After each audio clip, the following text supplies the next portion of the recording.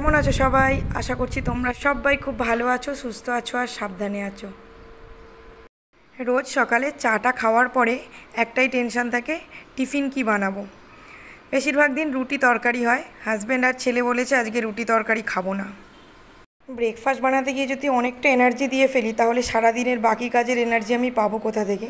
তাই শর্টকাট কিছু বানানোর আমি চেষ্টা করি। আলুটা আগেই সিদ্ধ করে রেখেছিলাম। সিদ্ধ করে ভালো করে মেখে নিয়েছি।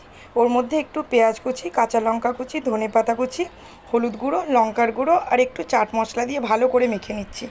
পরিমাণ মতো নুন দিয়ে দিচ্ছি, ভালো করে একদম আলুটা মাখিয়ে নিচ্ছি।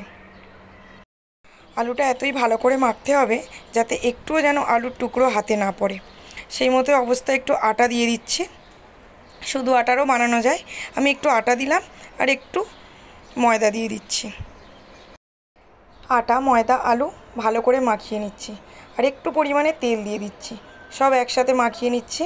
তারপরে অল্প পরিমাণে জল দিচ্ছি। কারণ বেশি জল দিলে আবার পাতলা হয়ে যাবে, যেহেতু আলু আছে। অল্প জল দিয়ে দিয়ে এটা মাখতে হবে।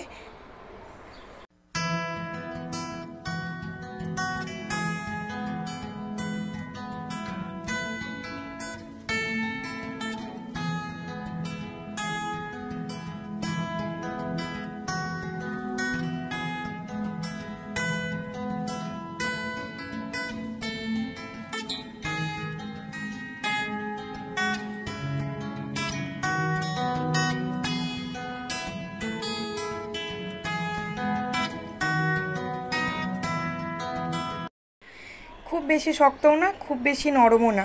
একটা মিডিয়াম টাইপের ডো বানিয়ে নিচ্ছি আটার। তারপরে এটা আমি দশ মিনিট রেস্টে রেখে দেব।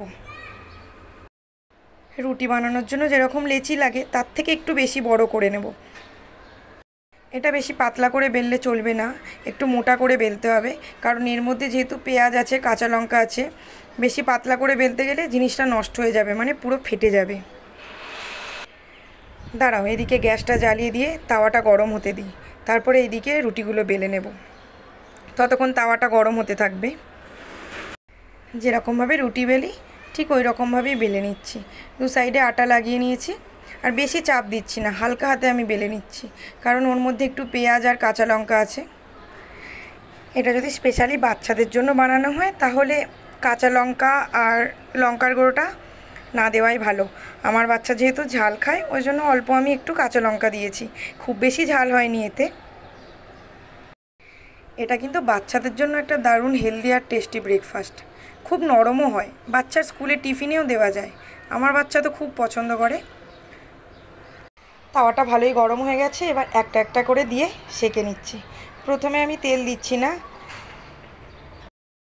ভালোভাবে সেঁকা হয়ে গেলে দু সাইডে একটু তেল ছড়িয়ে আর অল্প পরিমাণ ভেজে নামিয়ে নেব। এটা কিন্তু সসের সাথে খেতে বেশ ভালো লাগবে।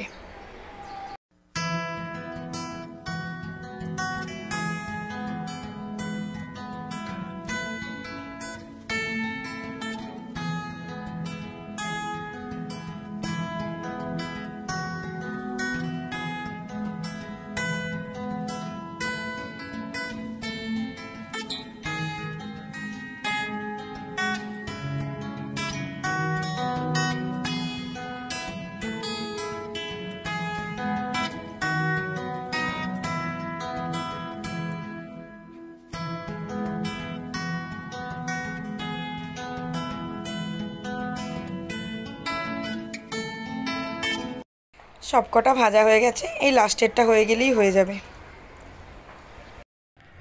বাবাই আবার ওইদিকে চিৎকার করছে, খিদে পেয়েছে খিদে পেয়েছে করে।